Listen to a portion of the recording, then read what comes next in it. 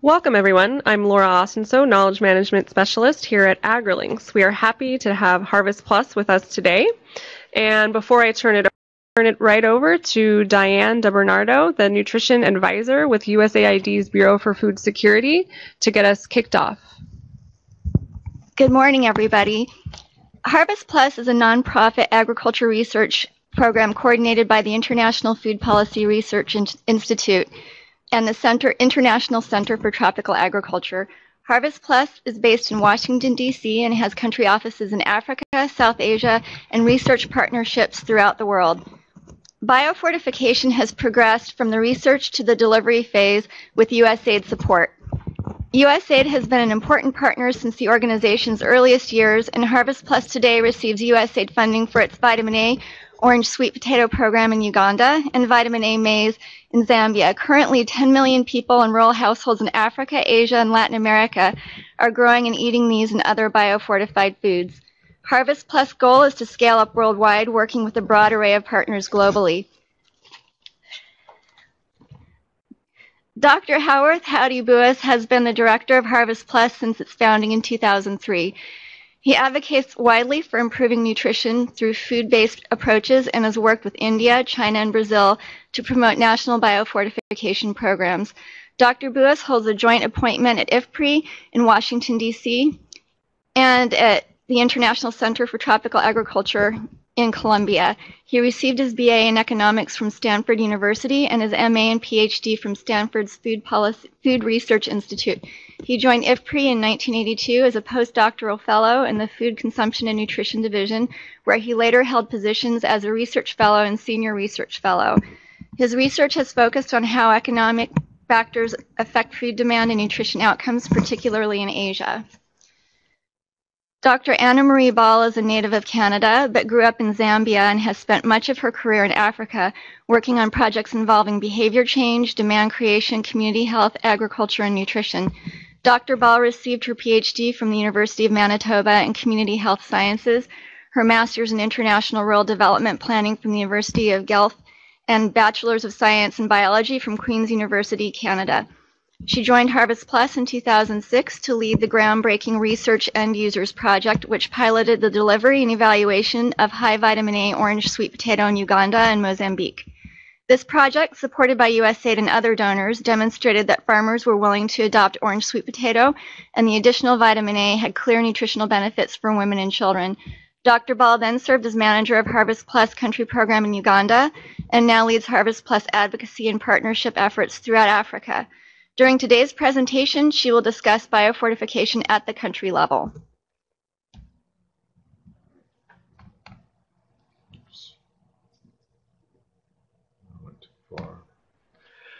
Okay, thank you, Diane, and uh, we'd like we're very appreciative of USAID uh, hosting this webinar today, and thank you to the, everyone in the audience for taking the time to learn about biofortification, to discuss biofortification.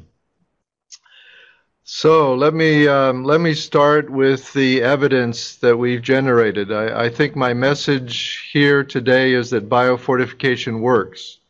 Uh, Harvest Plus got started in 2003. Uh, we're now 12 years into the program. In 2003, we didn't know biofortification would work, but now we have the evidence. Um, the first uh, the first issue that we needed to deal with was to breed high levels of minerals and vitamins into high yielding backgrounds. Uh, we knew that farmers would not adopt crops that were lower yielding, that had lower profits, just because they were more nutritious. So, one of the central tenets of the biofortification strategy of Harvest Plus is that our crops have to be just as high yielding, uh, just as profitable as, as other crops that farmers are growing.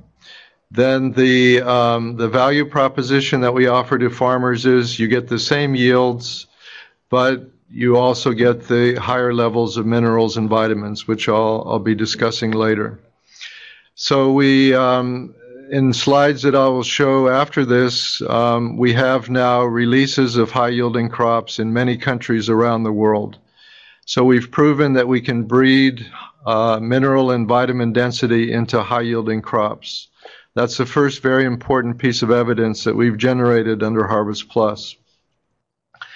The next issue is the nutritional efficacy.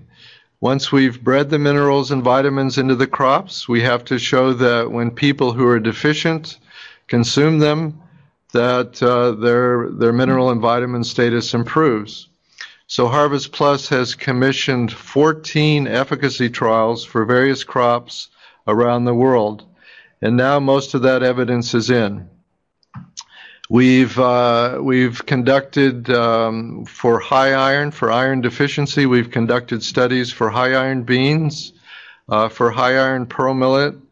Um, also, there was one with high iron rice where we've shown uh, improved iron status.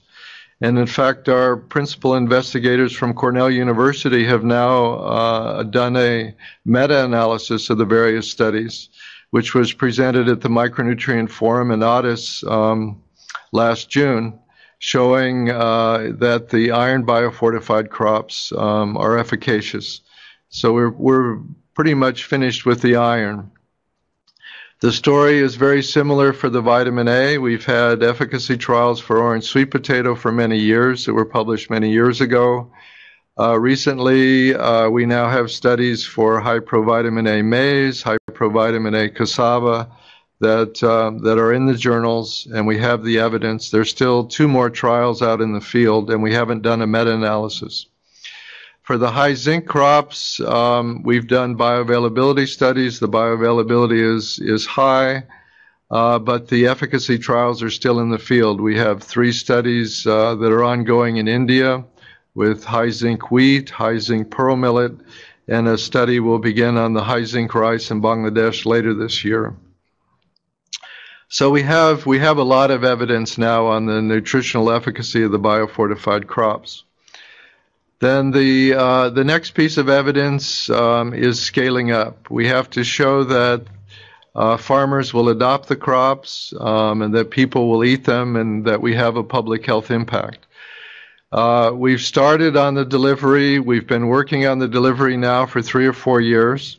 Uh, we have a lot of positive evidence. We have a lot of um, uh, momentum for the scaling up. More than 2 million farm households have directly received the biofortified crops now. And I'll be discussing some of the evidence in later slides on the, on the scaling up. Um, we know that we know that biofortification is cost effective. Uh, the the main uh, power of biofortification is that we use agricultural research. You do the research in a central location. We develop the varieties. Those varieties are made available to agricultural research uh, institutions around the world. They're adapted to local growing conditions and they're available in the food supply year after year after year. Most of your costs are in the original development and then once they're in the food system, you don't have recurrent costs as you do with other types of interventions. That's the that's the power of, of biofortification. So that's uh, you know that's a brief summary of the evidence that we've developed. Oh. So I wanted to I wanted to make a point that uh, USAID has been involved with us with Harvest Plus with biofortification from the start. Uh, we actually got our first grant to look into the feasibility of undertaking biofortification in 1993 from USAID. Uh, we were able, with that funding, we were able to identify a set of uh, plant breeders within the CGIAR system who were interested in pursuing the strategy. Uh, it did take 10 years to develop a critical amount of funding so that we could start down the plant breeding uh, road, start developing the breeding pipelines. Uh, but we did that. We got that funding in 2003. USAID has been a, a significant supporter uh, during that time. And then we got our first releases in uh, 2011, 2012. And now the missions, the USAID missions in the countries where we're delivering the crops, are supporting the delivery of biofortified crops. Our whole operation in Uganda uh, with uh, orange sweet potato and high iron beans is supported by the USAID mission. The USAID mission in Zambia is helping to support our dissemination of orange maize.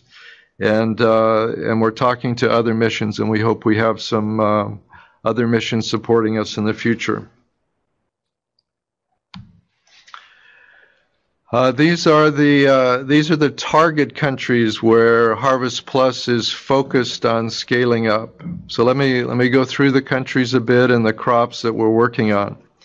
So in Africa, let's start in Africa. You can see that Uganda, we're working on the high provitamin A uh, sweet potato, and in addition, high iron beans. In Rwanda, we're focused on the dissemination of high iron beans. Let me let me emphasize that the that the beans in Rwanda are even higher yielding than the normal bean varieties that uh, uh, bean farmers are growing now in Rwanda. In Zambia, I've mentioned the high provitamin A maize. That's our, our focus crop there. In DR Congo, we're working on two crops, high provitamin A cassava and high iron beans. And in Nigeria, we're focused on provitamin A cassava, but we've also released uh, orange maize, high provitamin A maize, and are starting a dissemination program on that as well. So those are our target countries in Africa. We haven't colored Ethiopia green but we're um, we're intending to open an office uh, in Ethiopia later this year or at the beginning of next year. And our initial crop that we'll be working on in Ethiopia is the orange maize, high provitamin A maize. Uh, moving over to South Asia, in India, we're working on high iron pearl millet. High iron pearl millet was released in 2012. Uh, high zinc wheat, the high zinc wheat is out in India and the high zinc rice will be released uh, next year in India. In Bangladesh, we have high zinc wheat. It was released two years ago. We're starting the dissemination program. And in Pakistan, we have uh, high zinc wheat, and th- those uh, varieties will be released this year in Pakistan. So these are these are our target countries. We have country managers. We have uh, dissemination strategies that we're implementing. We're raising funding uh, to work with collaborators to realize the scale up in those countries. Then all of the other countries uh, we we consider as partnership countries, and how we're going to get biofortified crops out in the partnership countries. I'll I'll be discussing uh, in subsequent slides. So this is a map of all the of all the countries where biofortified crops have been released or are being tested. So you can see that it's a global program. We now have biofortified crops released in 25 countries, and we're doing multi-location testing in 43 countries around the world. Uh, just um, on a on a somewhat technical note. Uh, to get a crop released in a country, we work with the National Agricultural Research Institutes. Uh, candidate varieties are uh, undergo, undergo multi-location testing, so we can pick varieties that uh, grow well in several different regions. Once those varieties are identified, they're submitted to varietal release committees that test the agronomic properties of the crops, uh, test that they meet certain minimum agronomic standards. And after usually two years of testing, uh, once it's proven that they meet these agronomic standards, then they're released and we're allowed to multiply the seeds and sell them to farmers. So we've gone through that process now in 25 countries with, with biofortified crops. And there are 43 countries where they're in multi location testing. I want to I want to point out uh, three major countries where we want those countries with major scientific um, programs to get uh, working on their own biofortified programs. So I think the prime example is Brazil. The Embrapa, which has a huge uh, agricultural research system, has its own biofortification program that's supported by Embrapa. They're working on nine biofortified crops. I think they've released five different types of biofortified crops, and they're taking uh, regional leadership in Latin America. There's a Harvest Plus China program. I'll be in uh, I'll be in Beijing at the end of June, beginning of July. Uh, there's a conference on leaking nutrition in agriculture that's uh, sponsored by the Central Chinese government. They're going to be announcing that biofortification will be part of their next five-year plan, and they're deciding now what the program will be and what their investments will be in biofortification. Then the third major country that we want to take regional leadership is India. And uh, we're working uh, very closely with the Indian government on biofortification and have been working with them for the past 10 years. So this is, uh, again, this is a global program. Um, I'm an econ- I'm trained as an economist, and uh, one of the reasons that I've that I've stayed uh, focused on biofortification, I've worked on it for 20 years now, is that it is so cost effective. Um, a group of um, economists called the Copenhagen Consensus, which includes five Nobel laureate winners in economics, they were asked to identify the 20 most productive investments that could be made in developing countries. And uh, about four years ago, they came out with a report. Um, they identified within the top five, they identified uh, uh, three interventions that focused on micronutrient malnutrition, uh, vitamin A supplements, um, iron fortification, and biofortification. Supplementation was the number one investment that could be made. Fortification was the number three most productive investment that could be made, and biofortification was the fifth most uh, productive investment that could be made.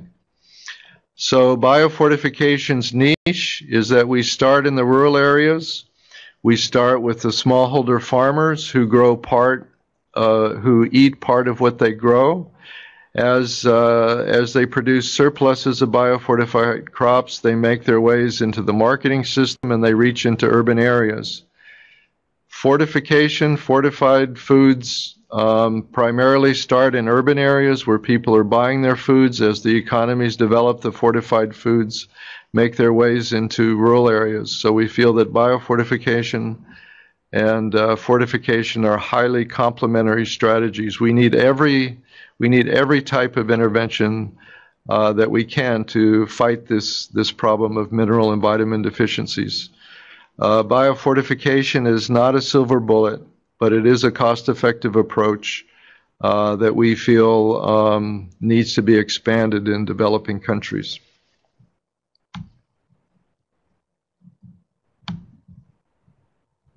Okay, there we go.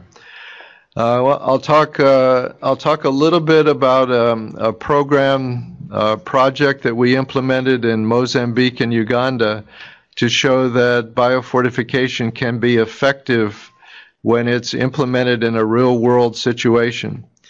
So we targeted 20,000, 24,000 households in Uganda and Mozambique. These were these were white sweet potato growing households.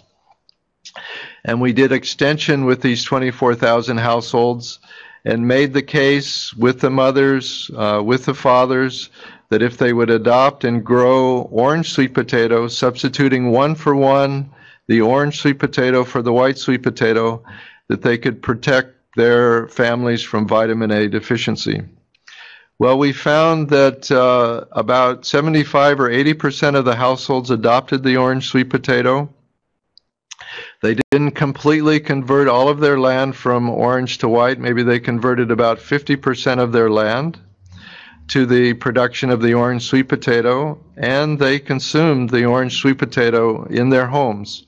This graph that's showing on the screen, the dark orange is the vitamin A intake on the in the villages uh, where we did not intervene, where the households continued to grow just the white sweet potato. Those are the total vitamin A intakes.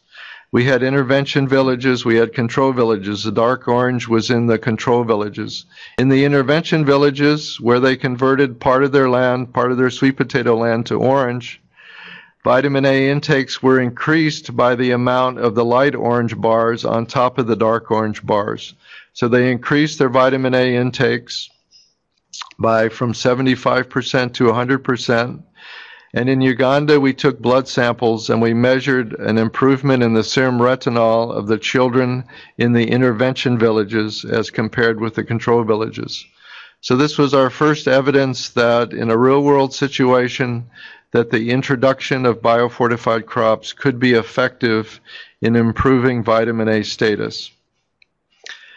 So that uh, that include that concludes my brief summary of uh, of Harvest Plus of biofortification, the progress that we've made, and I'm now going to turn it over to my colleague Anna Marie Ball, um, who's been uh, very involved in the implementation on the ground uh, in Africa, and she'll talk about her experiences uh, there. Thanks, Howdy. Um, hi to everybody that's listening. Um, Howdy's given a really great overview um, from, from the global perspective. And so, what I'd like to do in the next uh, few minutes is just to talk to you a little bit about some of the lessons that we've learned from our country programs. And um, as you can imagine, with the, the number of years that we've been uh, delivering the crops, we've got we've got quite a few observations. So this is by no means an exhaustive um, comment on, on things that we've learned. And you will find that I will draw my examples uh, particularly about the orange sweet potato. I'm obviously uh, a great fan of the sweet potato, but also about the high iron beans. When Harvest Plus uh, in Uganda enters a community, the first person that arrives in is the agronomist. And his first message to the farmers is actually a nutrition message. So he would introduce the sweet potato as the vitamin A sweet potato, and the beans as rich in iron, and we need iron uh, to build strong blood. So, as an agronomist, uh, he needs to talk about nutrition at a very basic level. Otherwise, why would a farmer even bother to plant a differently colored sweet potato, an orange one, when in fact they are used to white or cream colored ones. So we want to give the reason right from the beginning. So we're here with varieties that are, are better for your health than the ones that you're, you're currently growing. So the message that our partners um, receive is that what we're doing is nutrition through agriculture, but we will, in fact, um, address both the agriculture and the nutrition.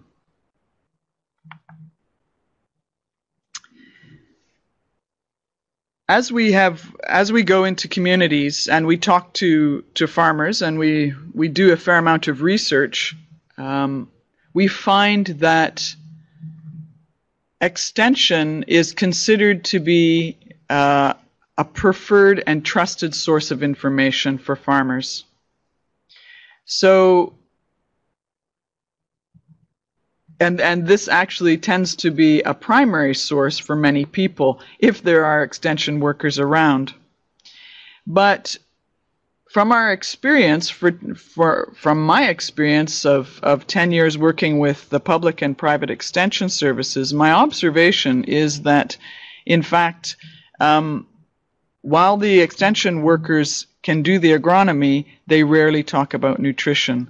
So, one of the things that we would do is to cross train so that extension workers can speak about nutrition uh, at a basic level that they know that the crops that they are bringing in are being brought in for the for the uh, micronutrient that is is present there, and that is bearing in mind, of course, that that we're not interested in sacrificing on yield. In fact, the, the varieties must match up in terms of yield uh, to the to the varieties that people are currently growing and um, have have uh, disease and pest resistance as well.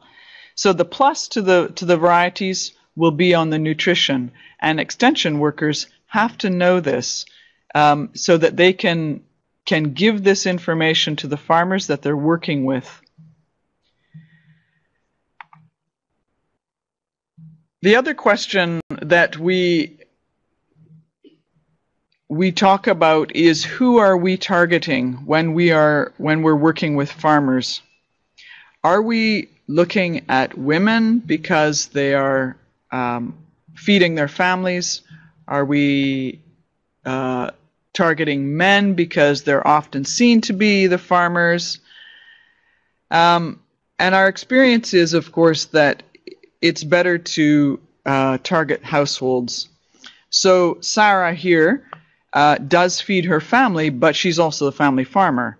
Julius is probably more interested in the agronomic messages and the marketing messages, but in fact, it's also in his best interest to get some of the nutrition messages.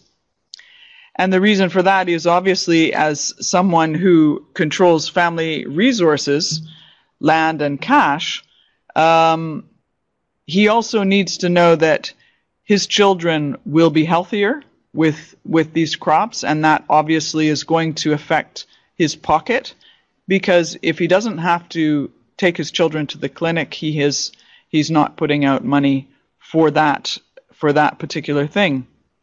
So so we want to provide agri- the, the nutrition and the agro- agronomic messages to both men and women in a household because it's the household that benefits. Now, particularly in Uganda, we do see that linking nutrition to grow, good growth and performance in school is actually really a, a poignant message because education is so highly valued that when you are able to um, to make that linkage for people, they can actually they do get it.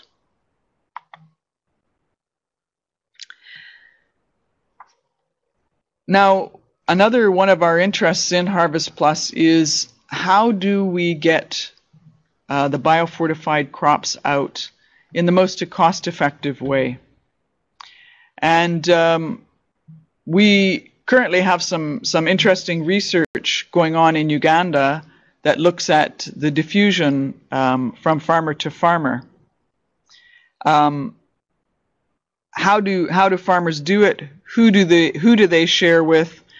And the question that that we're asking is how how much saturation in a community do you need to have for the biofortified crops to be anchored? so that if there was a, a drought, if there was a flood, would you know would there be enough seed within the communities to to for it to be rooted there, anchored there? Now, both in in Uganda and Mozambique, we've um, played around a little bit with the idea of payback or pay forward, where farmers are encouraged, actively encouraged, to share seed. Now, of course, with the vegetatively propagated crops such, such as the sweet potato and also with cassava, this works very well because um, the seed the the seed is kept in your garden and you can easily easily share. Also with beans, um, because they're not hybrid, um, they are also easily shared. So in this slide, what you see is Martha, who is a lead farmer in her um, in her farmers group. She's working with the farmers. They've they've pooled their their seed together with the intention that they will actually share with um, another farmers group. But we know and we are tracking, in fact, um, farmers who share their seed with um, relatives and friends, and um, calculating up how how cost effective this is in actually anchoring uh, the seed within within communities.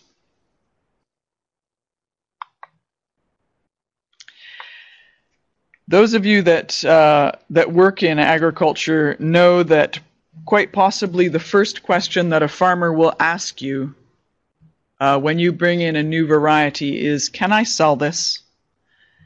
And we are convinced, of course, that um, addressing markets is key to long term sustainability. Uh, crops may stay in a family garden uh, for the nutrition, but we know that crops will stay in a garden, um, be maintained there if a farmer can sell the crops. And so we like to engage markets from the beginning.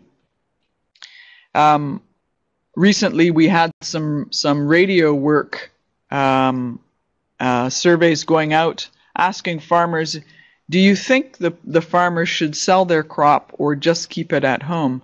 And it won't surprise any of you that farmers say at least the person should sell some of their crop because that will allow them to deal with some of the issues in their household.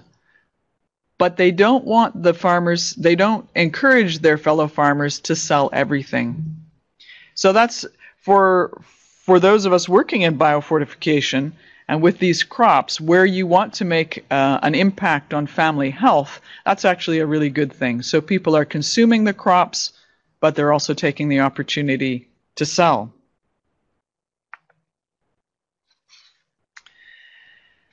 In all of our countries that we're working in in Africa, we have engaged the mass media to create demand, and that ranges from a radio mini drama in in Uganda with 30 episodes of uh, a story of intrigue about a lady who has the orange sweet potato and a husband that wants to sell off her land and children that need some some good nutrition. And how does she manage? We've also uh, worked with uh, Nollywood to produce some films about the yellow cassava provitamin A cassava. And in, and in Rwanda we've engaged uh, popular singers who have uh, put out a music video. You can go to YouTube and uh, listen to it when you're offline. And um, then they, the singers went around the country doing road shows. And this creates tremendous demand for, for the crops, and it's a great thing. The caveat to this is if you do not have your seed system in place, if you don't have the source of seed sorted out before you create this demand, you will find yourself in hot water. Because people are very enthusiastic. I am constantly amazed by how farmers are so willing to try a new variety. So if you create the demand, Make sure that you have the, the seed system in place. You've got the seed there. You can direct the farmers to where they can find the seed because they are going to want to try it, and that's exactly what you want. So some preparation is definitely needed. The other, the last point that I'll make, and then I'll hand it over to Howdy, is to say that farmers never ever um, produce and consume within a vacuum. They, political vac- vacuum, they need the support of policymakers who know and understand the issues.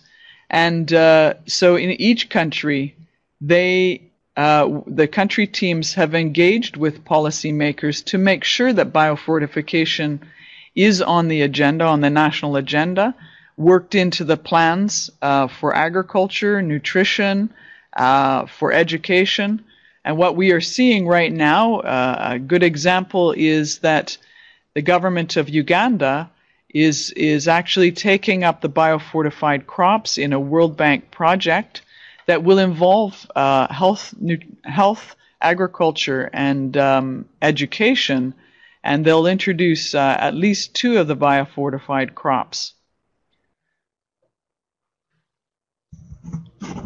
Okay, now I'll um, I'll finish up by by talking about uh, where we're headed next with Harvest Plus. Um, just continuing on this slide that we're on now, the um, the Minister of Agriculture of Bangladesh uh, endorsed biofortification at the international conference, second international conference on nutrition, uh, which was held at FAO last year. The other three slides are from our uh, second global conference on biofortification, which Harvest Plus sponsored about a year ago uh, in Kigali. Um, that's up in the upper right is Akin Adesina, the Minister of Agriculture of, of Nigeria, who was uh, endorsed biofortification. The lower left hand is the Minister of Health. Uh, from Rwanda, who also uh, was endorsing biofortification. And in the lower right hand corner is Rachel Kyte, uh, Vice President at the World Bank, whose comment at the conference was um, now we've, we've kind of switched. Before, people were asking, should we do biofortification? Is it the right thing to do? Now, with the evidence that we have, the question now for policymakers is if you're not implementing biofortification, why aren't you implementing biofortification? So what's the uh, what's the road ahead? I, I I pointed out our eight target countries, nine target countries as we add Ethiopia, but there's so many other countries uh, where we want to start the implementation of biofortification. So there are so many different types of institutions that we want uh, them to embrace biofortification and mainstream the use of biofortified crops within their day-to-day uh, activities. So the the primary actor that we want to get engaged are our private sector entities. So with the uh, especially with the hybrid crops, the maizes are hybrids, uh, the pearl millet in India is hybrids. We want seed companies to develop their own biofortified varieties um, and to be involved in the in the marketing of biofortified seed. We've done that with um, the Nirmal Seed Company in India with the pearl millet. Other companies are now getting involved. Uh, we've done that with three uh, seed companies in Zambia with the orange maize, uh, the three major actors. The, those three companies in Zambia next year uh, will be producing orange maize biofortified seed, which will constitute 5% of the commercial market in Zambia. So we're making um, uh, very good inroads there uh, with private seed companies. At the same time, the public uh, agricultural research communities need to mainstream biofortification. We can't we can't have some one stream of high yielding crops coming out that are drought resistant, climate smart, and another stream of um, uh, that are biofortified crops that don't have these agronomic properties. We have to combine the two. The climate smart crops have to also be biofortified, so we have to get the public agricultural research institutes to mainstream biofortification, and we're working very hard on that first within our centers, the CGIAR centers, and then also within Agri National Agricultural Research Institutes. Uh, in addition, uh, we're working with international NGOs. We've uh, we've signed an MOU with World Vision. They have agricultural programs in 90 countries around the world. They want to integrate their agricultural programs with their health programs, and they see biofortified crops as a as a perfect way to do that. So we're working with them in, in countries where we're releasing crops, but we don't have programs. We're working with World Vision to develop the funding, to develop the technical technical expertise so that World Vision can take the lead in introducing biofortified crops in those countries, which we call partnership countries. Uh, multilateral institutions, the World Food Program has a purchase for progress where they're helping uh, program where they're helping farmers uh, develop their productivity and then they buy their produce and store. They buy locally and store in World Food Program warehouses. Well, it's a simple step to substitute a biofortified crop for the regular crop. So in Rwanda, they're substituting high iron beans for regular beans in the Purchase for uh, Progress program, and they've now purchased 77 tons of biofortified high iron beans to store in their warehouses. Uh, the World Bank has uh, recently announced uh, a grant to the Ugandan government. It's a $27 million grant, and one of the key components is the dissemination, the scaling up of orange sweet potato and high iron beans. Uh, these are these are exactly the types of programs that we want the NGOs and multilateral programs to become engaged in. We want to spin this off to these institutions. Uh, we've just talked in the previous slide about the advocacy and the support by national governments and regional organizations. Um, you know, we're engaged uh, with CAADP in uh, in Africa. I was just at uh, Anna Marie and I were just at the African Union uh, two weeks ago, and uh, a press release came out by the Commissioner for Rural Economy and Agriculture endorsing the biofortification strategy. Uh, we need to create consumer demand. That's the ultimate sustainability of biofortification if consumers demand the biofortified crops. Anna Marie talked about our, our using uh, the media. Um, the private sector marketing, we're, we're talking to food processing companies, uh, millers, um, to use biofortified crops. We're developing new products uh, that involve the use of biofortified crops that are processed. This creates uh, this creates demand. The farmers are able to sell the biofortified crops in the markets. This is something that the that the farmers want to do. They they need to sell part of what they produce. And then, of course, we're we're generating evidence um, across the world, um, uh, documenting what the reach of biofortified crops is, what the public health benefit is, uh, what works in the dissemination of crops, uh, what doesn't work, what's most cost effective, and then Harvest Plus is collecting this evidence um, and then sharing it uh, with others so that they can implement the biofortification strategy. So, um, in a nutshell, that's what uh, that's what Harvest Plus is working on. Looking forward, uh, the road ahead for Harvest Plus. So that uh, that ends our formal remarks, and uh, we're very happy to take questions now. And and thank you again for taking the time uh, to participate in this session with us. Great, thank you so much. Sounds like a lot has been done, and a lot more is is in the pipeline to happen. It's really exciting, and we have a broad array of participants right now in the we- webinar who have been asking quite a few questions throughout.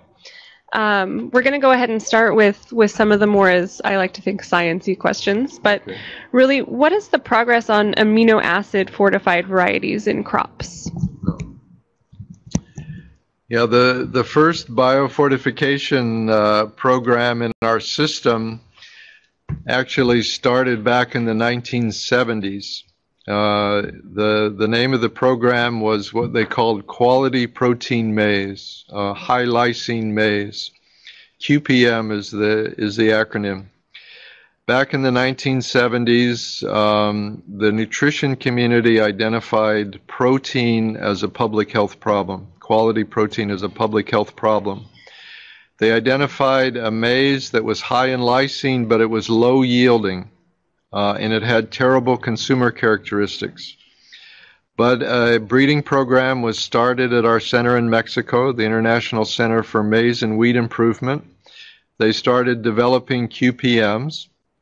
Um, they had difficulty getting high, getting the high lysine and high yielding backgrounds. Um, but over a number of years, they they did manage to get them into into high yielding backgrounds. A problem is that there was a basically a short time frame during which the the international uh, nutrition community identified protein. They they basically came out and said in the late 1970s we made a mistake. It's not a limiting public health problem but the uh, but the breeding program continued, um, and there are there are varieties that are available that are high yielding.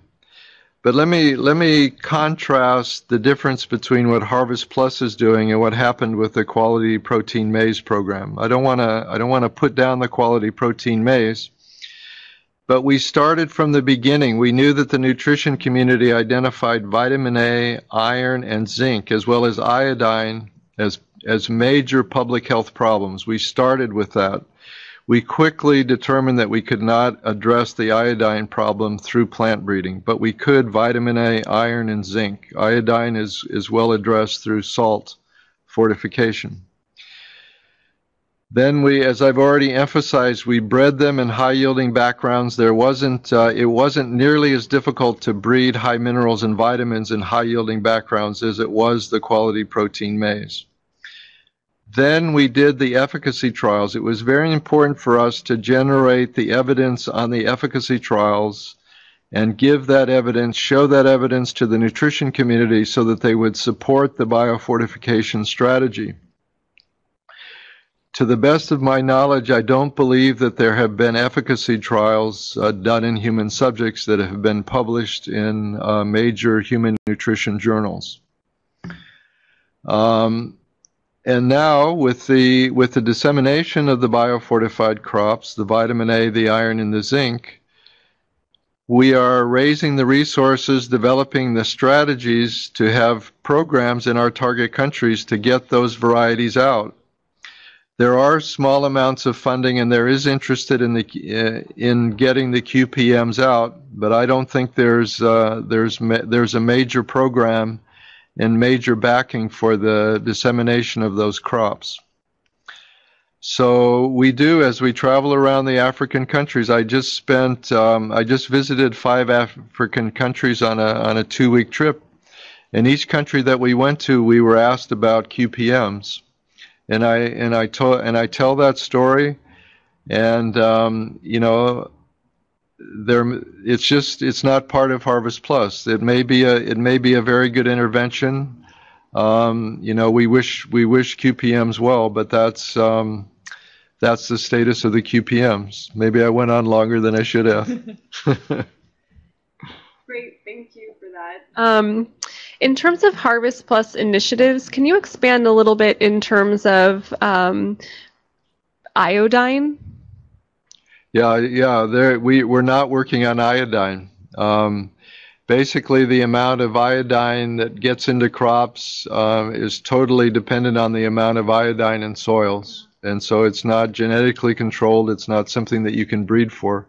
So we don't work on iodine in the biofortification strategy good thing to keep in mind for the International Year of Soils, how these two things can can connect. Yeah. There, I, will mention a very interesting uh, study that was done in China. Mm. Uh, there was an area that this link. This is how agriculture and nutrition can be linked. There was a, there was an area in China where iodine deficiency in humans was a very big problem and there was a professor from Duke University whose name I don't remember now. He he ran an experiment. He dripped iodine in the irrigation water. The iodine uh, through the irrigation water, the iodine got in the soil. It got into the crops, and it solved the iodine deficiency problem in the villages where they dripped the iodine. Now, what was very what was very interesting was salt iodization is obviously an alternative. Um, for addressing the problem. But it turns out the animals were also iodine deficient because iodine was uh, deficient in the soils. So they actually, dripping it in the irrigation system, actually improved the animal productivity as well, solved the iodine deficiency problem in the animals. So it's just an example. If you take a more of a holistic approach, you look at how to solve these problems through the agricultural system. Sometimes you can come up with uh, very efficient approaches to solving the problem it's an amazing example. Uh, I'm sure there's a lot of j- jaws dropping. Mine was. Um, what about while we're on this? What about selenium or calcium? While we're kind of on this yeah. topic. Uh, selenium. Um, the the government of Finland had a selenium deficiency problem, uh, they decided to try to address it by putting selenium in fertilizers, mandating that all fertilizers um, have selenium in them, a trace mineral. And it worked. Uh, it got into the soil, it got into the into the food system, and selenium deficiency in, in Finland was solved. They found that their initial um, the initial amounts that they put into the fertilizers were too high. Mm-hmm and uh, they they cut back on the amount that was put in the in the fertilizers, but it, it eventually it was a very effective way of, of treating the problem. So again, selenium is something that that uh, the problem can be addressed through adding uh, that element to the to fertilizers, getting it into the soil, getting it into the food system, and it's not something that we're working on in Harvest Plus or with biofortification. Mm-hmm. Another question that has come up is in terms of, you know, when you're working with the biofortification, is how how do you ensure that it's absorbed in the body later? So how how do we know that these nutrients and and kind of make sure for for that that yeah. it is absorbed? Yeah. The um, yeah, bioavailability was a huge issue when we discussed biofortification in the 1990s. Uh, there was a, a, significant debate in the nutrition community about the percent of the trace minerals that would be absorbed when the biofortified crops were consumed. Uh, staple foods have phytates. Uh, phytates are known to bind the, uh, the iron and the zinc. And um, some some nutritionists argued that the bioavailability would be such a low percentage that it w- wouldn't make much difference at the levels that we could breed into the crops. Other nutritionists argued that people who were deficient would absorb the minerals at a higher rate because they were deficient. The body regulates. If you're deficient, you're more efficient at absorbing what's in the diet. If you're if you're replete in the nutrient, you absorb a lower percentage. Well, we've done the trials now. We've done the efficacy trials, and we've proven that the the latter group was correct. That uh, people who are deficient absorb the minerals at a high rate and were able to improve their iron status. We're still doing the zinc efficacy trials, but we've shown that the bioavailability is sufficiently high. In the vitamin A crops, we actually found that the efficiency of conversion of the provitamin A to retinol was actually much better in food staples than it is from vegetables and fruits. They usually assume a conversion rate of 12 to 1 of provitamin A to retinol in vegetables and fruits. We've found in the provitamin A cassava and the provitamin A maize, we found conversion rates of 6 to 1 rather than 12 to 1. And even better than 6 to 1 in some examples. So, so far, the, the questions have really focused on the nutritional aspects and, and different pieces of that. Let, let's move a little bit into adoption. Different people are asking, you know, how did how have you promoted adoption? And you did speak earlier about this. Um, a specific question is how does the color of the maize in Zambia impact the uptake of the product, especially given that the traditional color of this maize is white? Okay, I'll let Anna Marie do some of the talking. That's actually a great question. It's uh, the kind of question that we also faced in Uganda with the sweet potato is will people in fact uh, be willing to to take up a crop that, that looks different than um, than the one that they're they are used to, which is white. Um, surprisingly, I, I think um, this is is less of an issue than we had expected, although it is something that has to be addressed. Um, one of the things that that we find is that you do have to tell people why there's a different color here, and that mm-hmm. um, this is about a crop that has vitamin A in it. And because of the fairly high levels of um, knowledge about vitamin A that mothers have, because they're told to bring their children to the clinics for immunization and vitamin A supplementation, they actually know that vitamin A is important for their children. And so they get that message. But um, for those of you that have worked in the maize sector and in southern Africa, even East Africa, you will know that there is a, a history of yellow maize that has come into some of the countries as relief food, and that there are very strong, and I might say negative emotions uh, associated with yellow maize. So for sure, this is something that uh, we've been extremely conscious of. Um, when I was introduced, I was uh, you were told that I grew up in Zambia, and I did, and I was there when the yellow maize was there, and I ate it. But um, so you can't you can't tell people that this is you know this is a silly a silly issue. They take it really seriously. And it's one of the reasons that we we like to show the pictures uh, where you've got a white maize cob, a yellow one, and an orange one, because there really is a difference here. Um, and people, when they see that, that's that's an interesting thing for them. It's also interesting for them that the maize is grown in Zambia. It is not brought from from outside. But for those people who are not growing and consuming their own crops, so really, the urban population, um, they're buying the mealie meal in the shops, and so what they see is a um, is a maize meal that is lighter in color, so not as orange, and that's why we really are very convinced that you have to have that vitamin A message uh, attached to to the packaging, so that people can understand the reason behind um, having having the the color change. And I think that when we've done taste tests in the field, um, what people will say is um, that they like the taste of the orange maize better than the white maize. Now, we'd like to be really clever and, and say that we intended that, but actually that's an unintended benefit, and we're going to ride it all the way.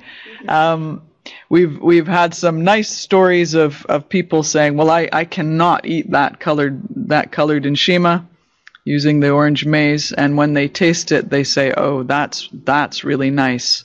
So, for some people, the color will be an issue, but I think that as people get the message about the vitamin A, and and as they taste it, uh, I think that's those are more compelling reasons to adopt. And given Harvest Plus experience, what has been the most effective way to get that message out? What has been your lesson learned in terms of increasing uptake of these biofortified foods?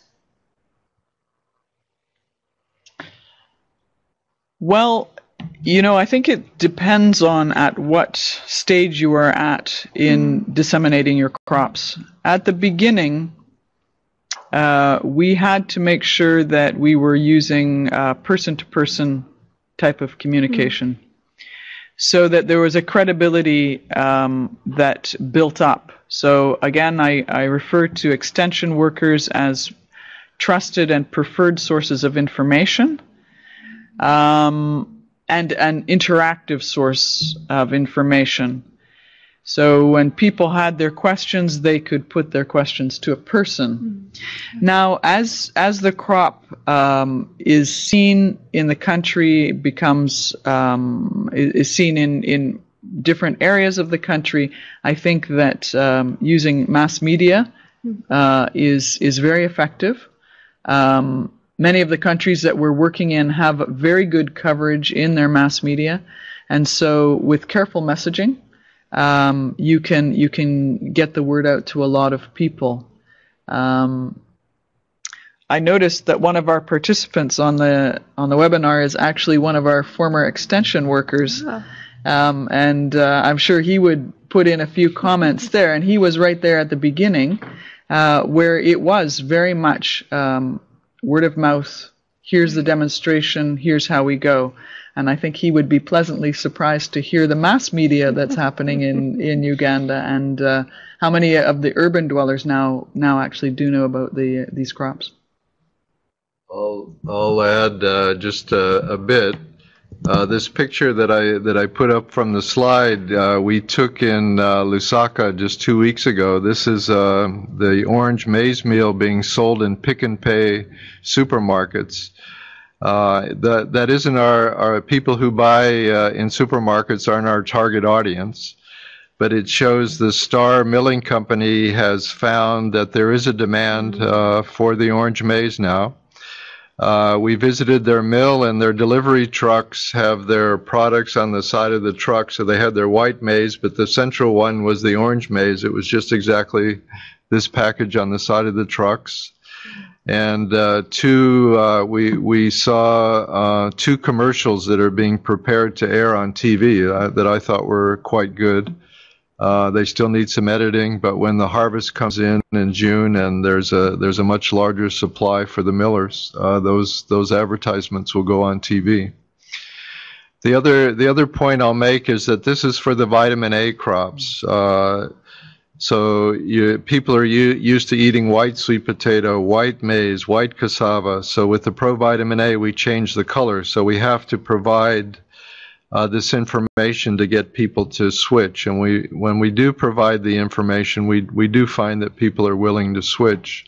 It's how can we get the cost down? Mm. But with the iron and the zinc, those are invisible. So you need a different strategy with the invisible nutrients. So the best strategy for those is to just piggyback on the best agronomic properties. So, for example, our high iron beans in Rwanda yield, um, I'm told, a ton and a half, whereas normal beans yield a ton. We've released 10 high iron bean varieties with these superior agronomic qualities. So I think that those bean varieties will take over a very high percentage of the total supply. So you don't really, uh, anybody goes to the market at that point, any bean that you buy in the market is a high iron bean. Farmers adopt the varieties because they're high yielding, they're more profitable. To me, it's, a, it's like a strategy of putting fluoride in the water system. Uh, we all know that there's fluoride in the water, but we don't think about it. We just, uh, you know, we just consume it. So it's that, it's got that kind of strategy with the high iron, high zinc varieties. That's really interesting hearing about the visible versus the invisible um, in terms of adoption and getting information out that promotes adoption. Um, so you mentioned person to person extension and also mass media. Um, a, a, couple of questions came in specifically about extension, so that one to one promotion in the countries where you're working so far, how have you found the numbers or the ratios in terms of direct contact with extension workers? And how do you interact with extension offices uh, depending on those numbers? So, depending on the country that we're working in, um, we may engage with um, both the public extension system and the private extension. Um, usually both, actually. uh, because because you, yeah you, you, don't you do not want to ignore the um, the public system even if it's even if it's not working to its full capacity it is a system in place and when you're looking to um, ensure that the whole country gets access to the biofortified crops, you want to use all channels possible. So um, I know that actually in all of the countries that we're working in in Africa, um, there's a there's a, a, good interaction with the public system uh, using um, whoever is on the ground and and the their general ways of of working with um, with their farmers. So I can't really say what the ratio would be um, because I think that uh, differs from country to country. Uh, in the countries where we have research going on, and so I can refer to to Uganda. Um, from area to area, we would be looking at standardizing the ratio of um, extension workers to to farmer groups and to farmers so that we, when we're doing the research, it's a comparable um, a comparable ratio. Um, and in that case, what we're looking at is ensuring that the extension worker is not so stretched that he or she may not be able to get to the um, the farmers groups on a regular basis.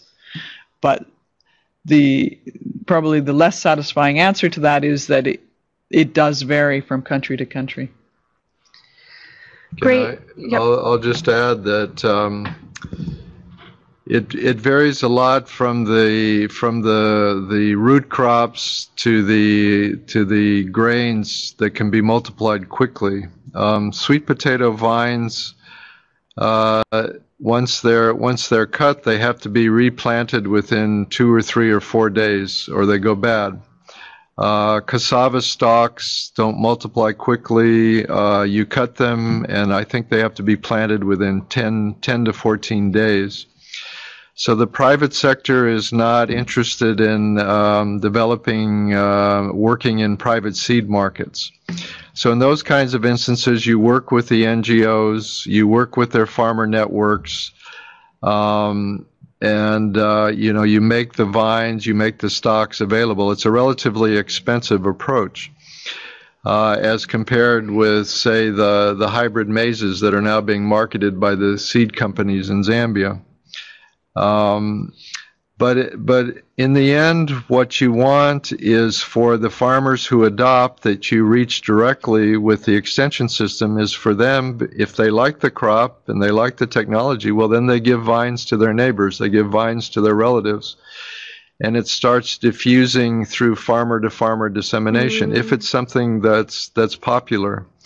And then once you reach a, a sort of a critical mass, it starts to sell itself. So that's that's what we you, you have to start somewhere, and it's it's you when you first start, it's kind of expensive to get it out to the first farmers. But if it's something that's really a, a good deal for the farmer, something that the farmers like, it starts expanding, and then you know once you hit 25% of the market, eh, people are saying, "Oh, what are you growing? What's that?" Right. And it and it just passes by word of mouth, and so then it then it becomes very efficient. It it sort of disseminates on itself. That's the beauty of seeds; they they multiply themselves. I like that. I think we we can quote that uh, really nicely uh, in terms of seed systems. And there was actually a question earlier from one of the participants in, in terms of seed systems. How have these um, uh, been, how has a kind of the framework or national piece of seed systems been either a, a barrier or a non barrier? Well, I. Um, yeah, it's been. I'd say it varies by crop. It's um, it's been it's been a barrier, as I've said, for the for the vines, for the sweet potato, for the cassava. Um, we figured out ways of uh, improving the multiplication rates, for example, of the cassava, so that we've lowered the costs. Um, at the other end of the spectrum are the are the hybrids, uh, hybrid maize varieties, the hybrid pearl millet varieties that are just it's it's really in the hands of the seed companies now in terms of of marketing their seed to their to their regular customers uh, and re- reaching that critical mass that I that I talked about previously. Um, uh, one of but one of my favorite examples on that is an innovation in the orange sweet potato. So normally the farmers pass the vines on from neighbor to neighbor. The the the markets for vines are not well developed. But um, HarvestPlus has figured out a way through tissue culture mm-hmm. to produce vines that are that are virus free. And we find that when those uh, vines are planted, we can uh, as much as double yields. So these these vines, it's almost like a hybrid seed. These vines are much more valuable than the normal vines because they're virus free and they increase production. So we've so the way the the um, the, the plants get the viruses is through the the white the white fly that that flies from plant to plant so uh, screen houses, a system of screen houses has been developed where the where the vines are initially virus free. They're transferred to other uh, areas that have the the nets and the flies are kept off. To finally where you have a big enough supply where farmers can come and buy the vines, and they have to, but they have to pay more for the vines because they're more valuable. So we've created a, a seed system, a private sector seed system for the vines. Farmers pay have to pay a little bit more for the vines, but then they realize when they double yields, hey, it's worth it. And so there's a huge demand for these virus-free vines. So we're starting, actually starting to create a private market for the vines where no private market has uh, existed before. Wow. And someone asks, um, do these improved varieties, either in seeds or, for example, you're speaking about the vine, do they require an annual purchase uh, or can they save them for the next season? If if the I, I, gave the example of the hybrid varieties, the maize and the pearl millet, hybrid varieties need to be purchased each year the seeds are more expensive, but again, the yields are higher and, and more than pay for the um, the expense of the seeds. This is why um, maybe I think 80% of maize production in Zambia is now hybrids. A similar percentage of pearl millets in India are hybrid hybrid seeds. Mm. The beans, no, you replant the beans um, from your from your production. Um, but the quality of the seed goes down year after year, and it, it is worthwhile to mm. replace your seed after after a couple of years because your yields uh, your yields go back up. Again, the the vines, the sweet potato vines, once they get infected with the virus, you can replant them, but your yields keep declining. So it really pays to go get the virus-free vines so that you can maintain your production at higher levels. Right. So let me just also add that um, when Howdy talks about virus in sweet potato. It's not just the orange sweet potato. Yeah. It's all sweet potato. It's mm. all beans. It's all ma- maize. It's that's that's a common issue. So it's not specific yeah. to the biofortified crops. Good point. Great. We we have a couple questions here in terms of climate smart crops and hoping just to get some more information and insight in terms of um, how climate smart crops are bred with biofortified crops? Okay, I'll um, I'll give the I'll give the example again of beans uh, that were where the basic um, development of the varieties, the biofortified varieties, has been done at CIAT, our, our center in Colombia.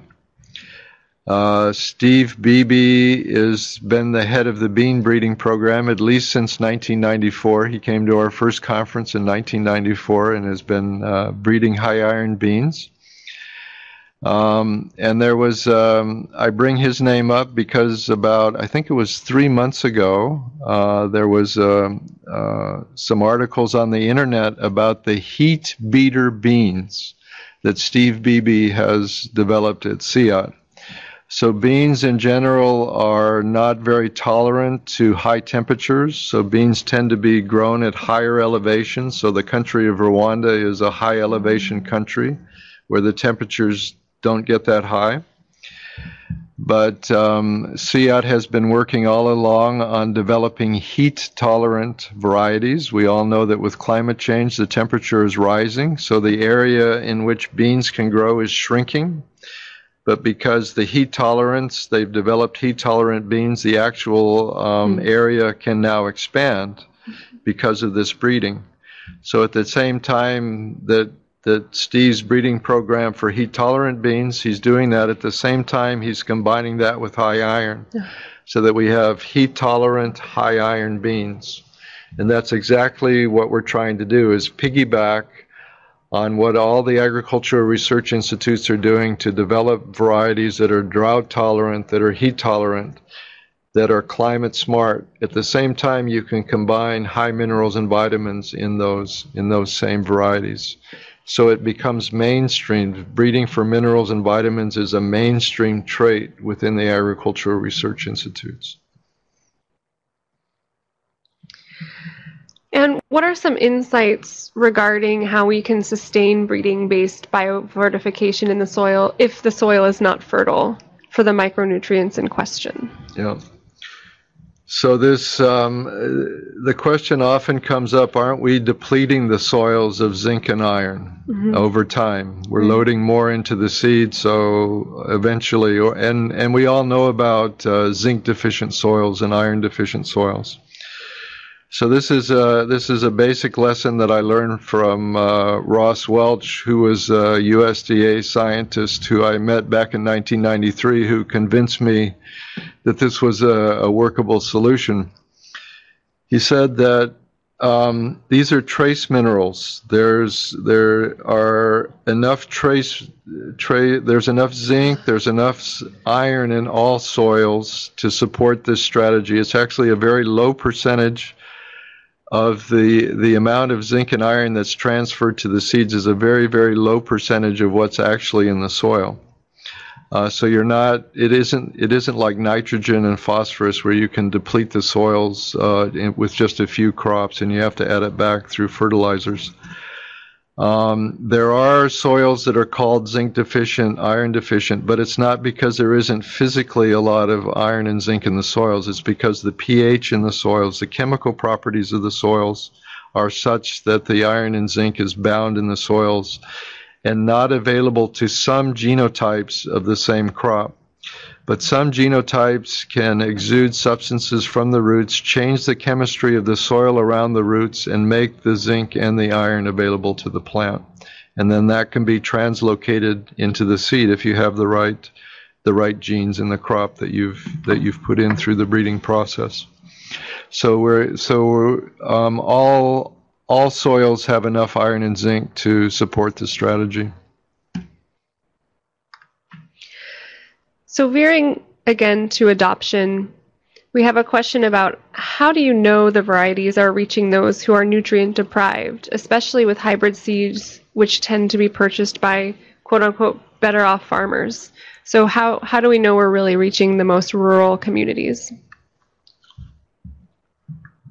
Um, well, the initially, um, yeah, we, we face we face a dilemma as we initially roll out the crops. Um, I I showed this slide where we had the maize on the supermarket shelves in the Pick n Pay in, mm. in Zambia, and I said that wasn't our target audience. Right. We have to. Our vision is that eventually most of the maize in Zambia will be orange maize but we have to create the demand. We have to make sure that the biofortified crops are marketed. Um, we could we could pursue a strategy where we just target the the poorest, most vitamin A deficient farmers in Zambia and just focus on those and forget about the marketing system. But that that would be a very slow way for us to achieve our vision that that uh, you know that all maize in Zambia will be orange maize. Um, so we don't we don't ignore. There are a lot of there are a lot of smallholder farmers that buy hybrid maize. Uh, we are developing open pollinated varieties that will be made available to the to the poor farmers. Um, we, it's just that the breeding process has gone faster with the hybrid maize. It's out now. Uh, we're using that to help develop the marketing system. Mm. But eventually, there will be open pollinated varieties. We'll have to work with the NGOs, with their farmer networks. It will be more expensive. It won't be through the private sector, uh, but we'll reach them. And, and eventually, everybody will have access to the orange maize. So that's, that's one example. Great. And you just mentioned, um, as you did earlier, the role of the the private sector. We have a question specifically about input suppliers and um, what role you see for them in delivering extension. Well, the I guess the main input is the seed. Is the is the seed? I've talked a lot about the seed system. Um, the other, I suppose, the other main uh, suppliers would be the the fertilizer dealers. Mm-hmm. Um, the um, the basic tenet of the of the strategy is that we're we're trying to be um, the least invasive as possible. We're not we're not uh, seeking a major change in behavior. If uh, if a farmer is growing a non-biofortified variety and they're using fertilizer and they're using irrigation, or they're or they're organic or they're not organic or they're not using fertilizer and not irrigation, whatever their current practice is, we just want them to substitute one for one the biofortified variety for the non-biofortified variety. Um, it will be our our promise is that it will be just as high yielding, and in the best of circumstances, it will be even higher yielding given the same inputs that they're currently using. We're not uh, we're not asking farmers to change their practices in terms of their input use. No, just keep just keep the the same practices that you have. Um, if there if there is an opportunity to do some extension, if there is some uh, best practices in terms of agronomics, and we can work those inexpensively into the extension program, we'll teach them the better practice along with introducing the biofortified variety. But it's not a it's not a necessary element to our strategy. Right. It sounds like really meeting meeting farmers and input suppliers and yeah. each actor where they are, yeah. um, versus kind of pushing them into a specific space. Yeah. It was uh, it was interesting. I I was invited by the ethics department at Purdue University to give a to give a presentation on the strategy, and I was really surprised that an ethics department would would invite me to give a strategy. So I asked him I asked him what attracted you about this strategy. He said he said because you're so non-invasive. It's a it's a very simple thing to switch in a biofortified variety for not you're not asking them to change their life, their behavior, etc it's just uh, it's just a simple, cost-effective technology, and we thought that was very ethical.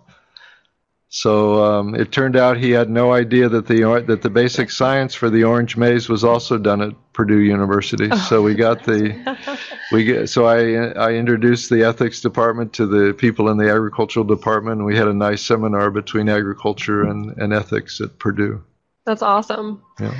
Uh, so you've talked a lot about different people you've been speaking with and different partnerships and all the way from you know nitty gritty science to directly on the field with farmers to extension agencies and national research institutes how have you looked at your work in terms of these different partnerships? It's a huge topic uh, within, especially within in international development. So how how have you been looking at those partnerships and engaging all of these different actors uh, towards this strategy? Well, it's um, you know from the beginning, it's been uh, we you know we've been trying to bring together the agriculture and the nutrition communities. When we when we first tried to get the biofortification strategy uh, funded, the agricultural donors uh, said, uh, "Well, you know, the nutrition is uh, is for the nutritionists to solve. It's not for us to solve. We're about we're about high yields." uh, were about reducing poverty. And we, when we went to the nutrition donors, they said we don't we don't give money to agricultural research institutes. Um, that's not what we do. We we you know fund supplementation, we fund fortification, etc. So trying to uh, in the initial years, it was very difficult to get those two communities mm. to engage with one another, talk with one another. We had a we had a um, a conference that was actually sponsored by USAID at the International Rice Research Institute in 1999. And we had 100 people, and half of them were nutritionists and half of them were mm-hmm. plant scientists. And almost all the nutritionists said this is the first time we've ever visited an agricultural research institute. And they were kind of fascinated to, to see all the experiments in the field and, and everything. Mm-hmm. So of course it's more complicated than that. It's um, it's getting all the the stakeholders, the national government policymakers uh, involved. Uh, at our conference in Kigali a year ago, we had the Minister of Agriculture and the Minister of Health from Rwanda, the Minister of Agriculture and the Minister of Health from Nigeria, the Minister of Agriculture, the Minister of Health, and the Minister of Education from Uganda they were they were all there and they were all advocating for biofortification. So it was really it was really been nice to bring those communities together. Of course, that's that's happening globally now. People recognize that that agriculture and nutrition are vitally linked, and agriculture is part of the solution. Definitely, really important, and definitely a great note to kind of start winding down. Um, from our incredible presentation with our awesome guests from uh, HarvestPlus, I'm going to ask uh, one more question that came from a variety of folks, which is where do we get more information about this? Where do we go to learn more about biofortification efforts and this strategy that you've been talking about today through HarvestPlus? Well, the uh, I guess you go the the main place to start would be our website, um, harvestplus.org. Um, and our, our contact information is there, and then we'll we'll answer your emails and, and get you in touch with all the right people. Great, thank you so much. Um, and thank you to all of our participants for joining this webinar today. We look forward to continuing the discussion and uh, please visit harvestplus.org. Did I get that right? Yeah. And also please feel free to check out agrilinks.org in about two weeks. We'll definitely have all of these uh, resources posted, including the webinar itself. So you can share and get this information out to our huge, wonderful international development community. Thanks so much. Yeah, thank you, everybody.